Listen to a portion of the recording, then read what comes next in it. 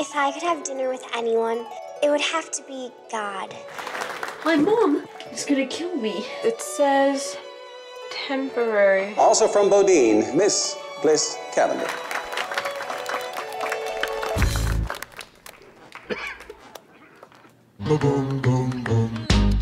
I'm sorry that these pageants don't live up to your high moral standards, but there's a lot you can learn from them no matter what you go on to be in life.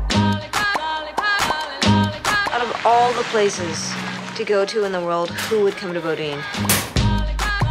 So, what are you like? Alternative now? Alternative to what?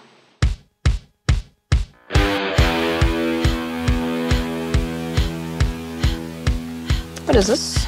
Roller derby? Welcome to skate night at the warehouse.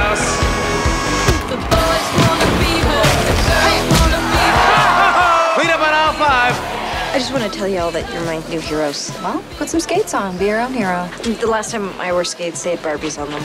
I wanna be her. I guess I do. You could be our mascot.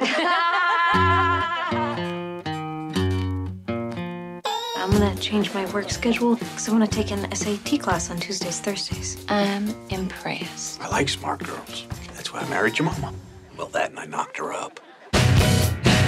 I'ma do the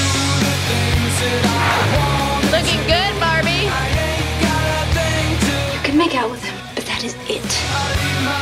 Has anyone ever thrown up on the track before? Yeah. Get ready to meet your newest Hurl Scout, Babe Ruthless! This is your SAT class? I am in love with this.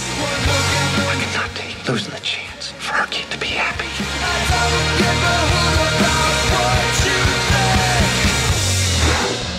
We're number two.